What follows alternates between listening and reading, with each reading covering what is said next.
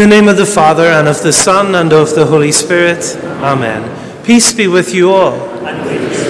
My dear brothers and sisters, I welcome you to our Chrism Mass on this Holy Thursday, the day on which the priesthood was born. I'm delighted to be ga- gathered along with you, the people of God from the Diocese of Dromore, and with members of the clergy from all over the diocese who are with us here today. This is a day in which we can pray especially for vocations to the priesthood and to the religious life, of course, and also a deeper sense of vocation for all God's people, for all the baptized. To prepare ourselves to celebrate these sacred mysteries, let us call to mind our sins. I confess to Almighty God and to you, my brothers and sisters, that I have greatly sinned in my thoughts and in my words, in what I have done and in what I have failed to do, through my fault, through my fault, through my most grievous fault. Therefore I ask, Blessed Mary, ever Virgin, all the angels and saints, and you, my brothers and sisters, to pray for me to the Lord our God. May Almighty God have mercy on us, forgive us our sins, and bring us to everlasting life. Gloria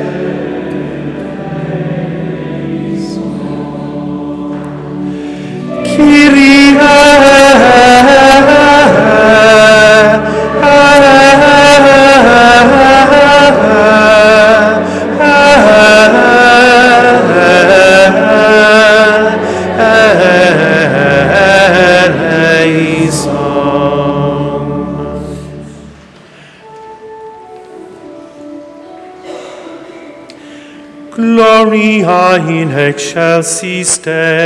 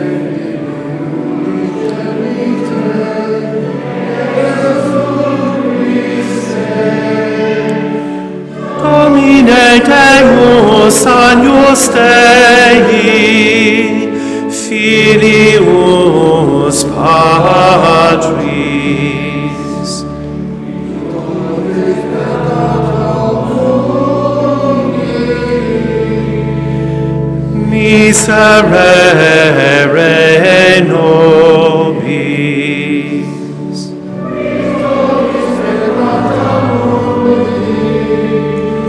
Suscipe de precationem nostra. Vicedes ad dexteram patris, miserere nobis.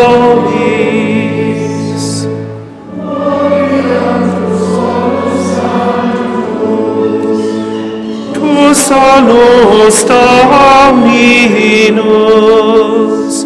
tu solus Altissimus, Iesu Christe, cum Sancto Spiritu, in gloria Dei Patris. Amen.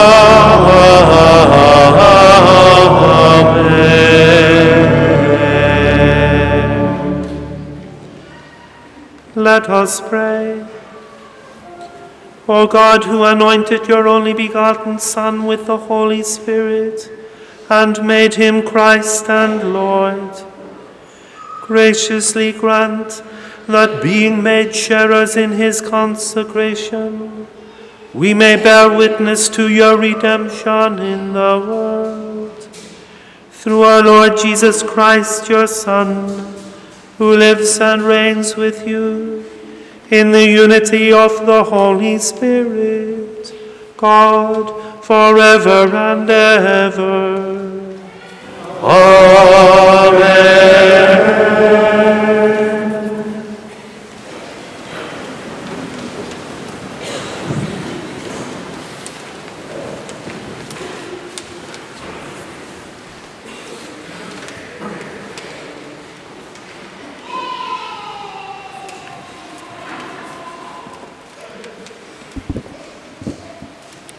First reading, a reading from the prophet Isaiah. The Spirit of the Lord God is upon me, because the Lord has anointed me. He has sent me to bring glad tidings to the lowly, to heal the brokenhearted, to proclaim liberty to the captives, and release to the prisoners, to announce a year of favor from the Lord and a day of vindication by our God, to comfort all those who mourn, to place on those who mourn in Zion a diadem instead of ashes, to give them oil of gladness in place of mourning, a glorious mantle instead of a listless spirit. You yourselves shall be named priests of the Lord, ministers of our God shall you be called. I will give them their recompense faithfully. A lasting covenant I will make with them. Their descendants shall be renowned among the nations, and their offspring among the people. All who see them shall acknowledge them as a race the Lord has blessed. The word of the Lord. Thanks be to God.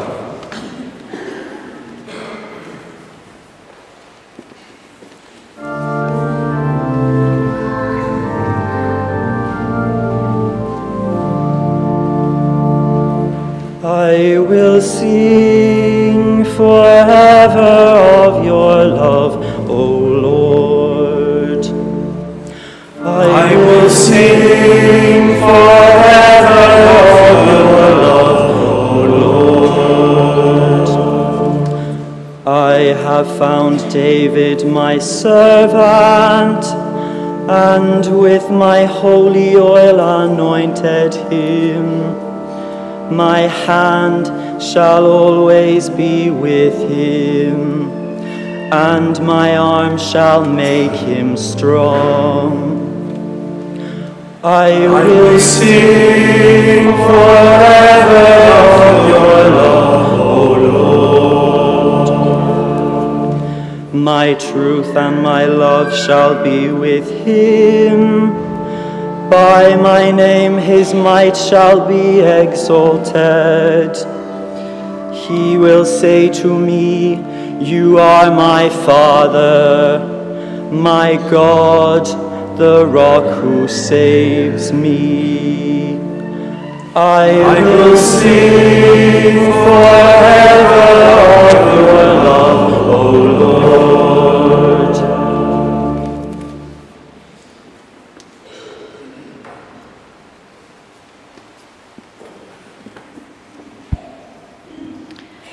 A reading from the book of Revelation. Jesus Christ is the faithful witness, the firstborn of the dead and ruler of the kings of the earth. To him who loves us and has freed us from our sins by his blood, who has made us into a kingdom, priests for his God and Father, to him be glory and power forever and ever. Amen. Behold, he is coming amid the clouds, and every eye will see him, even those who pierced him. All the peoples of the earth will lament him. Yes, Amen. I am the Alpha and the Omega, says the Lord, the one who is, who was, and who is to come, the Almighty. The word of the Lord. Thanks be to God.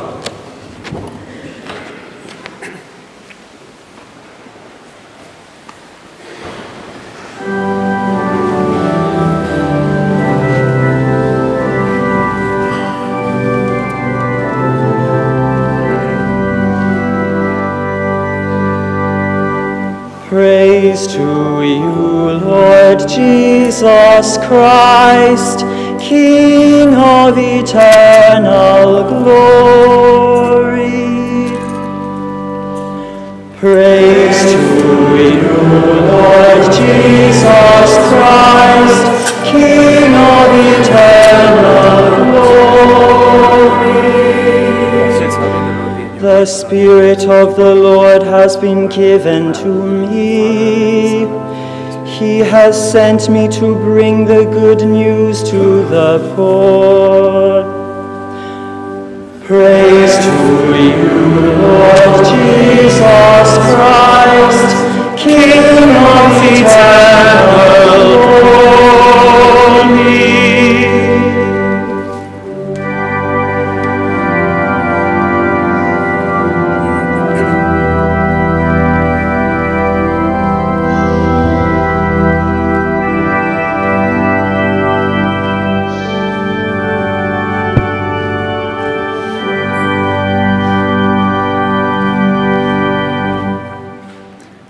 The Lord be with you. And with your spirit. A reading from the Holy Gospel according to Luke. Glory to you, O Lord.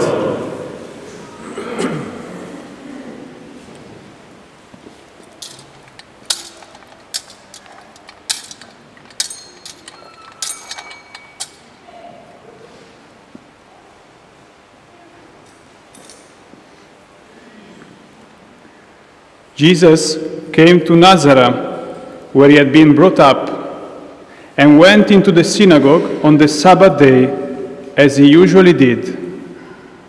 He stood up to read, and they handed him the scroll of the prophet Isaiah. Unrolling the scroll, he found the place where it is written, The Spirit of the Lord has been given to me, for he has anointed me. He has sent me to bring the good news to the poor, to proclaim liberty to captives, and to the blind new sight, to set the downtrodden free, to proclaim the Lord's year of favor. He then rolled up the scroll, gave it back to the assistant, and sat down and all eyes in the synagogue were fixed on him. Then he began to speak to them. This text is being fulfilled today, even as you listen. The Gospel of the Lord. Praise to you, Lord Jesus Christ.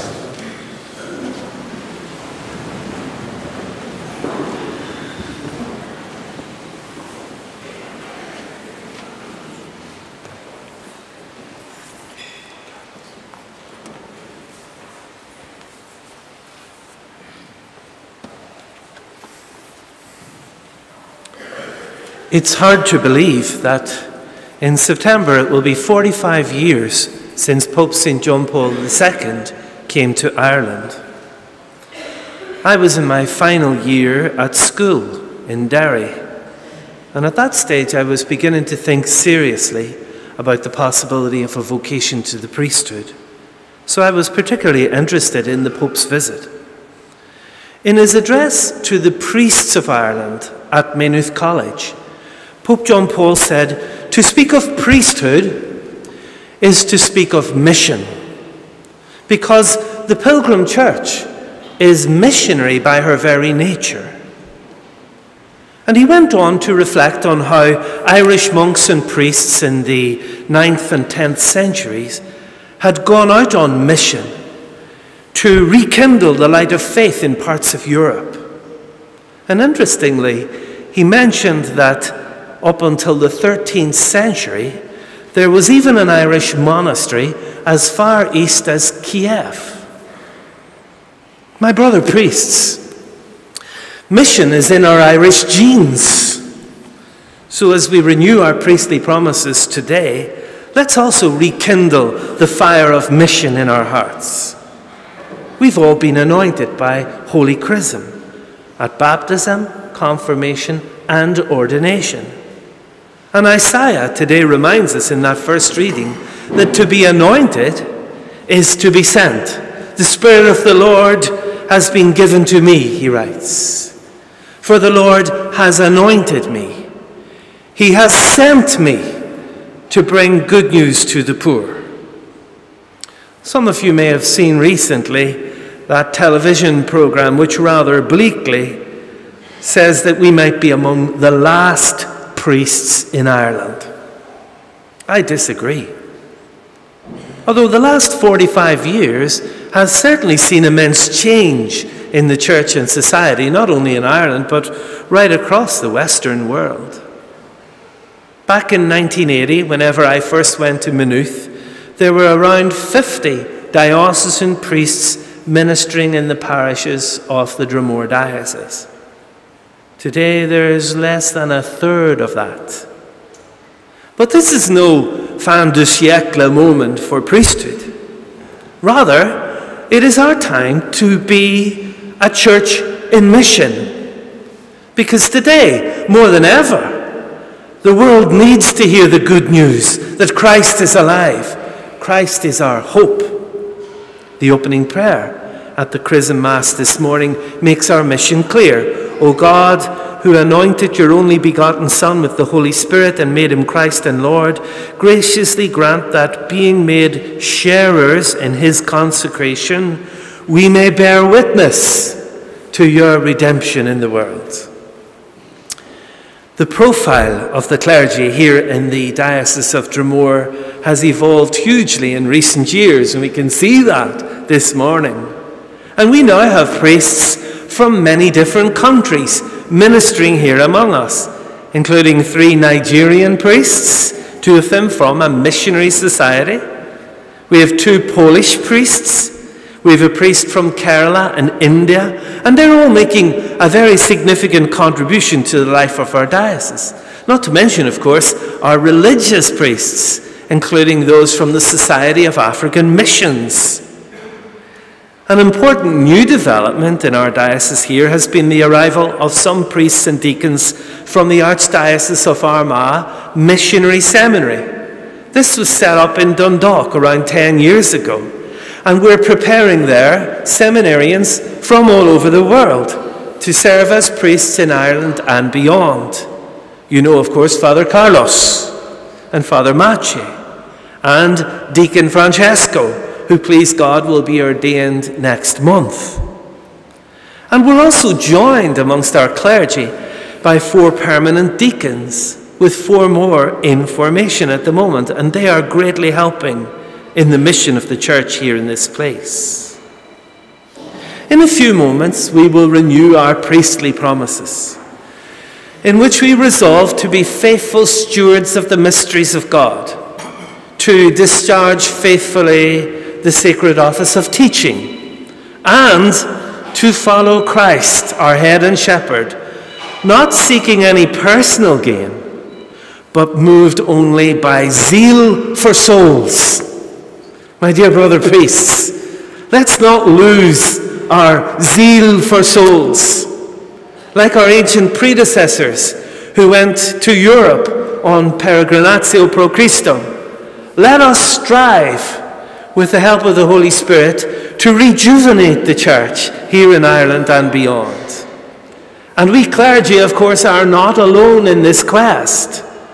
Pope Francis is currently challenging us to become a synodal church in mission and to realize that our religious and our lay women and men, by virtue of their baptism, are co responsible with us for the church's mission. Your charisms, your gifts from the Holy Spirit are there in abundance. And they need to be identified and formed and called forth and appreciated in the church. The first session of the Synod in Rome last October put it like this An invaluable fruit of the synodal process so far is a heightened awareness of our identity as the faithful people of God, within which each person is the bearer of a dignity derived from baptism.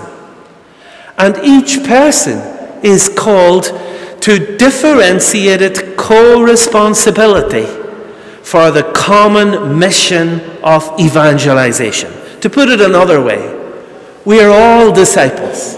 We are all called to holiness, and we are all called to be missionaries. The mission of the church involves the entire church, with the faithful, both male and female, contributing alongside the religious, the clergy, and the bishops.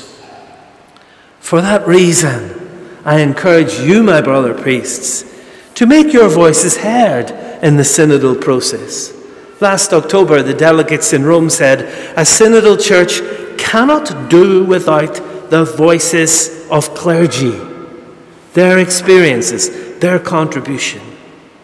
And I ask you also to do what you can to incorporate synodal listening into the life of your parishes and to call forward the gifts of your people so that they can be truly co responsible with you for the life and pastoral mission of the church. After all, by baptism and confirmation, these, the people of God, along with us, are also anointed with chrism and sent. And we're immensely grateful to the very many lay faithful and religious who are already assisting us in our parishes and dioceses as parish volunteers or workers, as members of our pastoral councils, finance councils, and various prayer groups and other initiatives. And many of you are here today. So I want, on behalf of all the clergy here, to thank you, my dear brothers and sisters, and bless you for your vital assistance to us in the mission of the church. We're all especially conscious this Holy Week that we live in a very fragile and troubled world where the ravages of war and violence, poverty and injustice, where we've the displacement of millions of people, where the consequences of climate change are clearly visible to us. But we are all anointed and sent, and together we are called and gifted to share the good news with a wounded humanity. Or as Isaiah put it, we're anointed and sent to bind up hearts that are broken Something else that Pope John Paul II said when he spoke to the priests of Ireland in 1979. And I'll finish with this. He said, The work of the Lord cannot be done by lukewarm or half hearted priests. Let me add to that. Neither can it be done by lukewarm or half hearted Catholics. He said, The fire of love which Christ had for his Father and for his people, must burn in us. Christ, longing to save all people, must consume us. Let that be our prayer, our hope, and our wish on this Holy Thursday. Amen. And I invite the priests present to stand and to renew their priestly promises. Beloved sons, on the anniversary of that day when Christ our Lord conferred his priesthood on his apostles and on us, are you resolved to renew in the presence of your bishop and God's holy people the promises you once made? Are you resolved to be more united with the Lord Jesus and more closely conformed to him, denying yourselves and confirming those promises about sacred duties towards Christ's church, which, prompted by love of him, you willingly and joyfully pledged on the day of your priestly ordination? I am. Are you resolved to be faithful stewards of the mysteries of God in the Holy Eucharist and the other liturgical rites? and to discharge faithfully the sacred office of teaching, following Christ the head and shepherd, not seeking any gain, but moved only by zeal for souls. Amen. I invite our brothers and sisters in the congregation to stand now. And can I ask you, dearest sons and daughters, pray for your priests that the Lord may pour out his gifts abundantly upon them and keep them faithful as ministers of Christ the high priest, so that they may lead you to him who is the source of salvation. Christ, hear us. Christ, graciously hear us. And pray also for me, that I may be faithful to the apostolic office entrusted to me in my lowliness, and that in your midst I may be made day by day a living and more perfect image of Christ, the priest, the good shepherd, the teacher, and the servant of all. Christ hear us, Christ graciously hear us. May the Lord keep us all in his charity and lead us all, shepherds and flock, to eternal life. Amen. Can I ask you also today just to pray for vocations to the priesthood, to the religious life, and a deep sense of vocation in all the baptized faithful, women and men. Lord, hear us. Lord, like to remember today Dean Artie Byrne, Father Oliver Trainer, and Father Brian White, who've gone to their rest since this time last year. May they and all the deceased priests, religious, deacons of our diocese rest in the peace of Christ. Lord, hear us. Lord, and I thank God for the gift of the priesthood, personally for me and for all of us here. And I pray God's blessing on two of our priests who are celebrating significant anniversaries of their ordination this year two Browns actually. Father Brian, who's celebrating 40 years of priesthood, and Canon Francis, who's celebrating his Golden Jubilee, 50 years this year. God bless you both.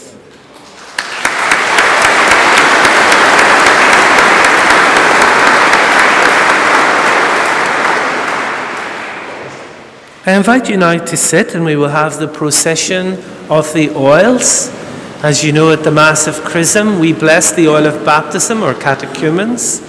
We bless the oil of the sick, infirmorum, and we also consecrate the sacred chrism. They will be brought now forward in the offertory procession by our deacons.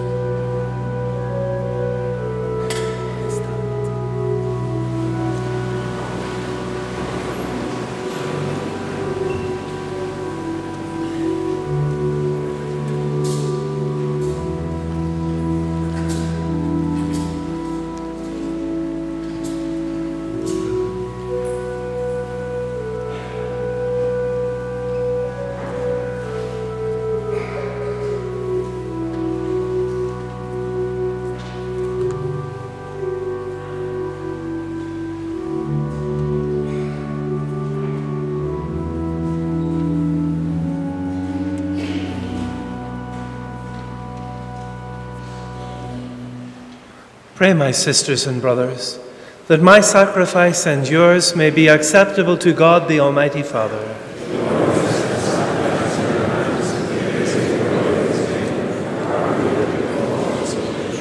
May the power of this sacrifice, O Lord, we pray, mercifully wipe away what is old in us and increase in us grace of salvation and newness of life through Christ our Lord.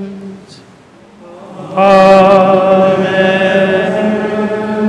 The Lord be with you. Lift up your hearts. Let us give thanks to the Lord our God. It is truly right and just, our duty and our salvation, always and everywhere to give you thanks. Lord, Holy Father, Almighty and eternal God, for by the anointing of the Holy Spirit, you made your only begotten Son, high priest of the new and eternal covenant, and by your wondrous design were pleased to decree that his one priesthood should continue in the church. For Christ not only adorns with a royal priesthood the people he has made his own, but with a brother's kindness he also chooses men to become sharers in his sacred mystery through the laying on of hands. They are to renew in his name the sacrifice of his human redemption, to set before your children the paschal banquet, to lead your holy people in charity, to nourish them with the word, and strengthen them with the sacraments as they give up their lives for you and for the salvation of their brothers and sisters. They strive to be conformed to the image of Christ Himself and offer you a constant witness of faith and love. And so, Lord, with all the angels and saints, we too give you thanks as in exaltation we acclaim.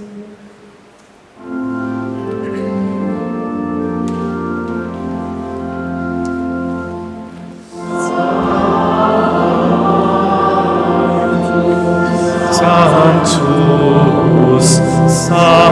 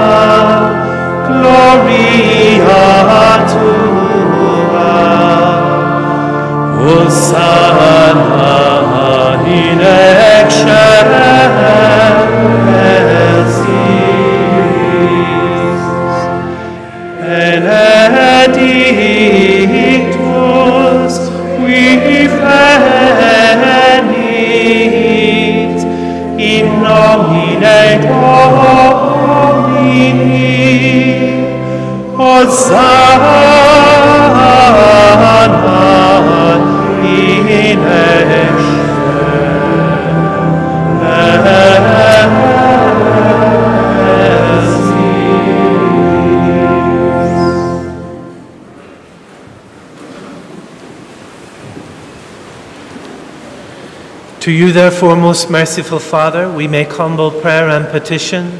Through Jesus Christ, your Son, our Lord, that you accept and bless these gifts, these offerings, these holy and unblemished sacrifices, which we offer you firstly for your holy Catholic Church.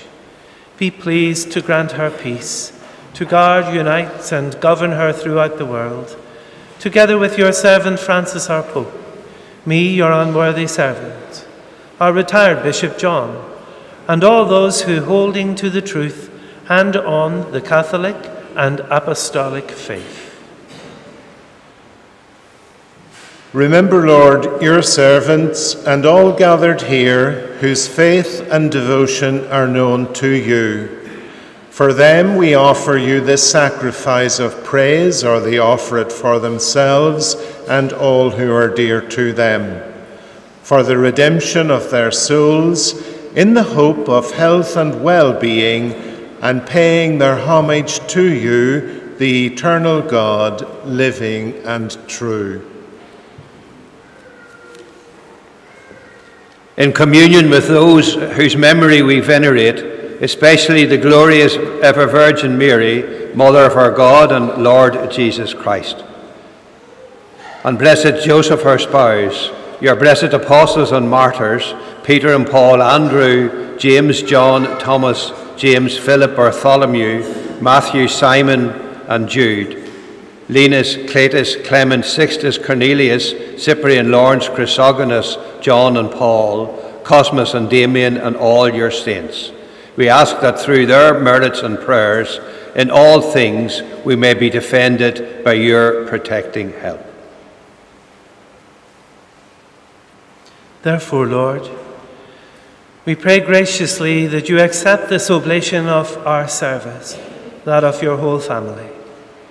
Order our days in your peace, and command that we may be delivered from eternal damnation and counted among the flock of those you have chosen. Be pleased, O God, we pray, to bless, acknowledge, and approve this offering in every respect. Make it spiritual and acceptable, so that it may become the body and blood of your most beloved Son, our Lord Jesus Christ.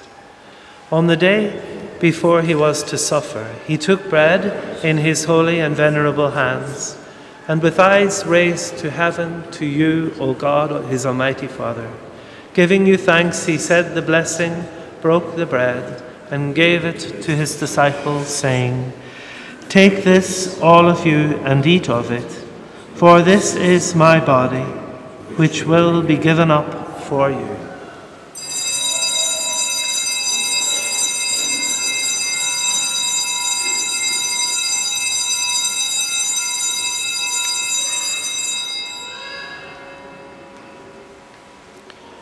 In a similar way, when supper was ended, he took this precious chalice in his holy and venerable hands.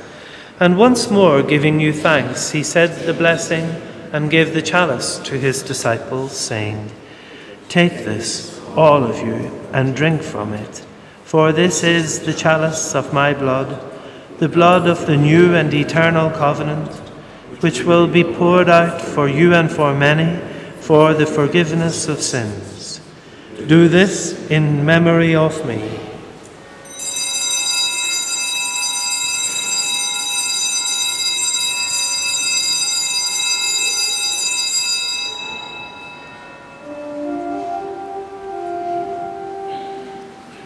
The mystery of faith. And profess resurrection until you come. Therefore, O Lord, as we celebrate the memorial of the Blessed Passion, the resurrection from the dead, and the glorious ascension into heaven of Christ, your Son, our Lord, we, your servants and your holy people, offer to your glorious majesty from the gifts that you have given us this pure victim, this holy victim, this spotless victim, the holy bread of eternal life and the chalice of everlasting salvation. Be pleased to look upon these offerings with a serene and kindly countenance, and to accept them, as once you were pleased to accept the gifts of your servant Abel the just, the sacrifice of Abraham our father in faith, and the offering of your high priest Melchizedek, a holy sacrifice, a spotless victim. In humble prayer, we ask you, Almighty God, Command that these gifts be borne by the hands of your holy angel to your altar on high in the sight of your divine majesty, so that all of us who through this participation at the altar receive the most holy body and blood of your Son may be filled with every grace and heavenly blessing.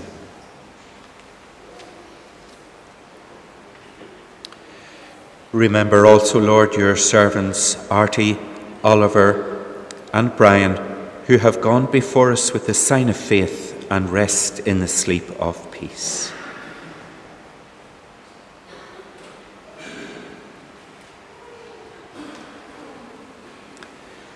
Grant them, O Lord, we pray, and all who sleep in Christ, a place of refreshment, light, and peace.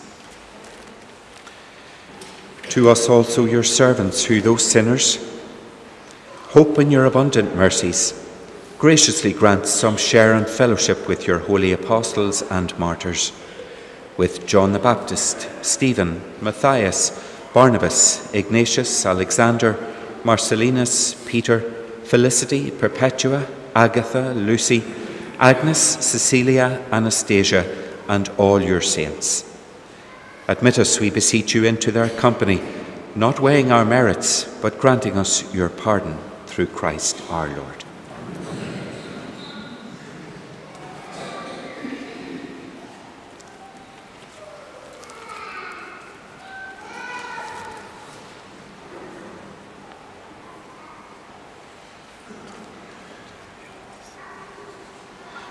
We have the blessing of the oil of the sick.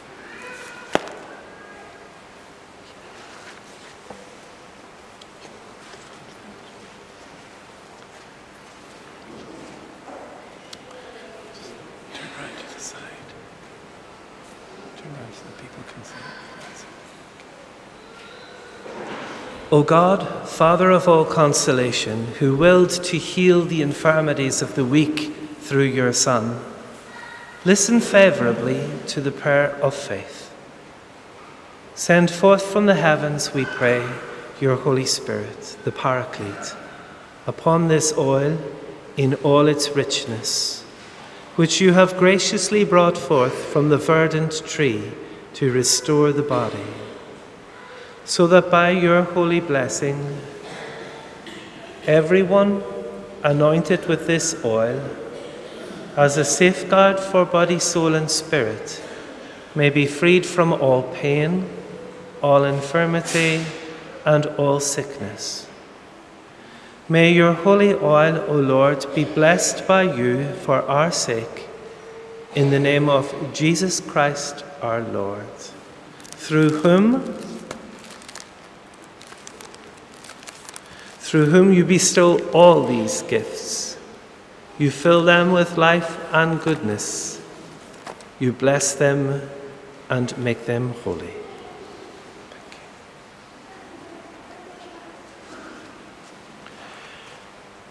Through him and with him and in him, O God, Almighty Father, in the unity of the Holy Spirit, all glory and honor is yours forever and ever.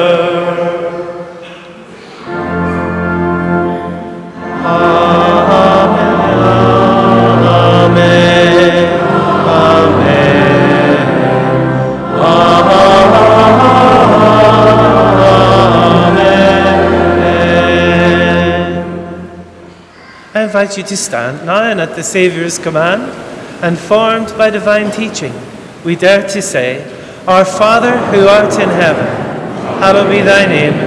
Thy kingdom come, thy will be done on earth as it is in heaven. Give us this day our daily bread, and forgive us our trespasses, as we forgive those who trespass against us. And lead us not into temptation, but deliver us from evil. Deliver us, Lord, we pray, from every evil. Graciously grant peace in our days, that by the help of your mercy we may be always free from sin and safe from all distress, as we await the blessed hope and the coming of our Saviour, Jesus Christ. For the kingdom, the power, and the glory are yours, now and forever. Lord Jesus Christ, who said to your apostles, Peace I leave you, my peace I give you. Look not on our sins, but on the faith of your church, and graciously grant her peace and unity in accordance with your will, who live and reign forever and ever. Amen. The peace of the Lord be with you always. And with your spirit. Let us offer each other the sign of peace. Peace be with you. Peace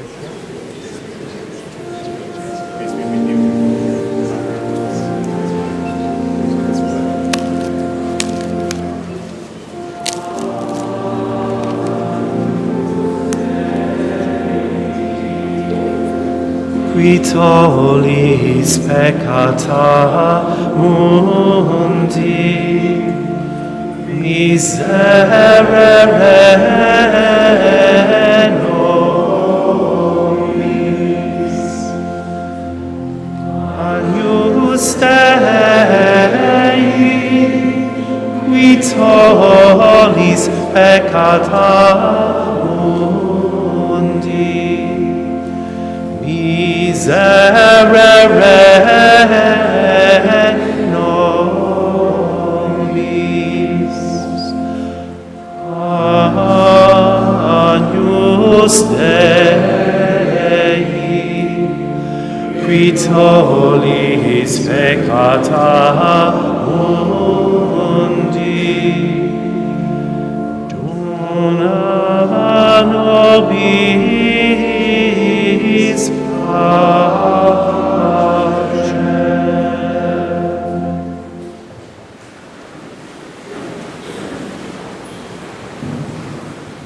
Behold the Lamb of God.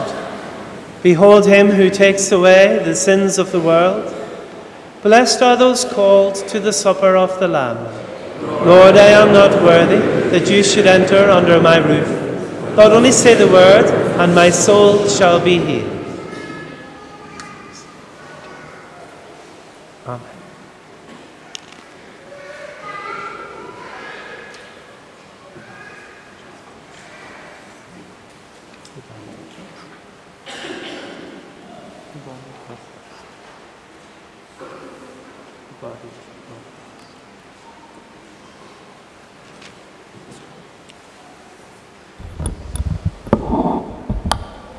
For the reception of communion, please follow the guidance of the stewards.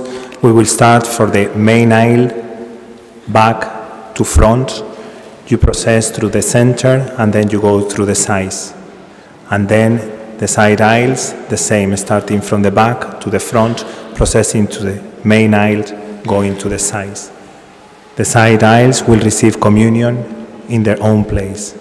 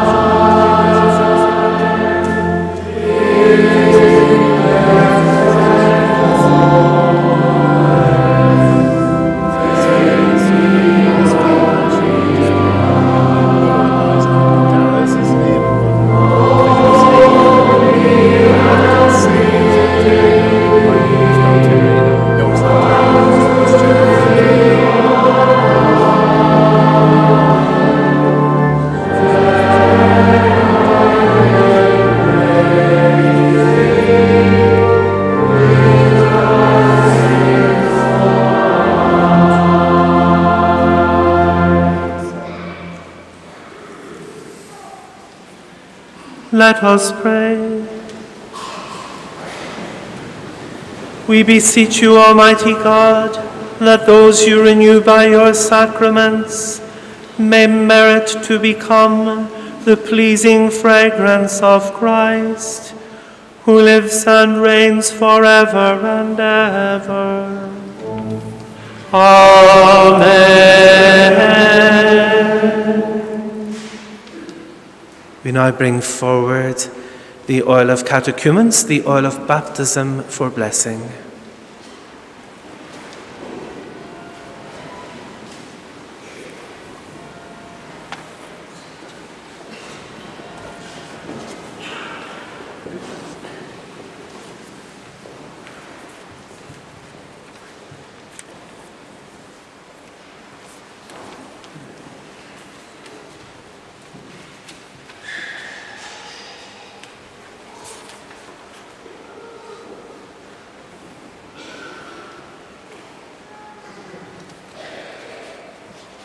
O God, strength and protection of your people, who have made the oil you created a sign of strength, graciously bless this oil and grant courage to the catechumens who will be anointed with it, so that receiving divine wisdom and power, they may understand more deeply the gospel of your Christ. They may undertake a generous heart the labours of the Christian life and made word of the doctrine as your and daughters, they may rejoice to be born in you and to live in your church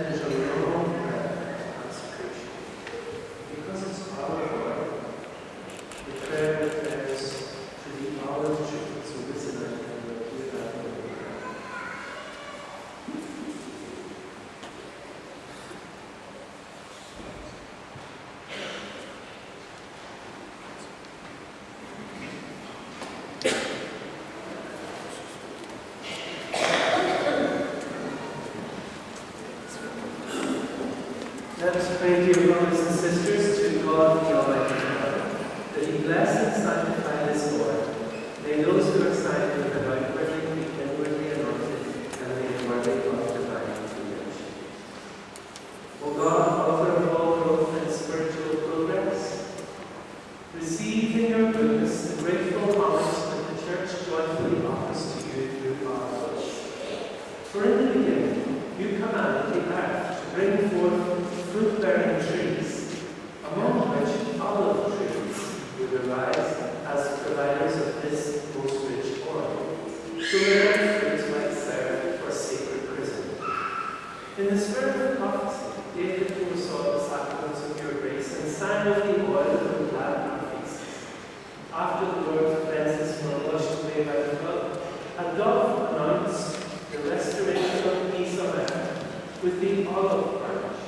foreshadowing the gift to come. In the last days, all this has been clearly revealed, when every offense is removed through the waters of baptism. The anointing of this oil makes our faces cheerful and serene. You also commanded your servant Moses to make his brother Aaron a priest by pouring this oil upon him after it had been washed in water. Still greater thing is added to this when your Son Jesus Christ our Lord insisted that he be washed by John in the waters of the Jordan.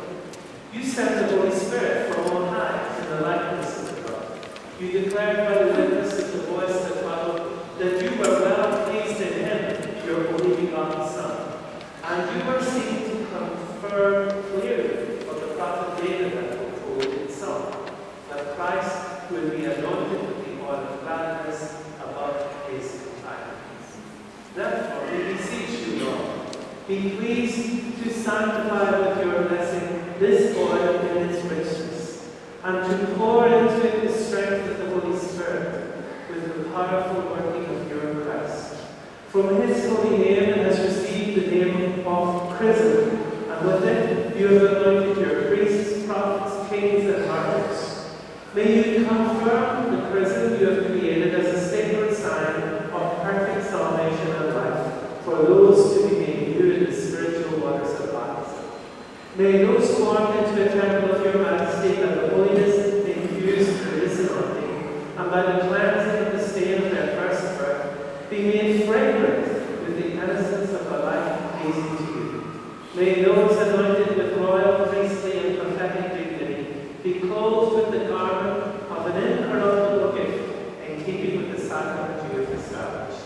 May this oil be the chrism of salvation for those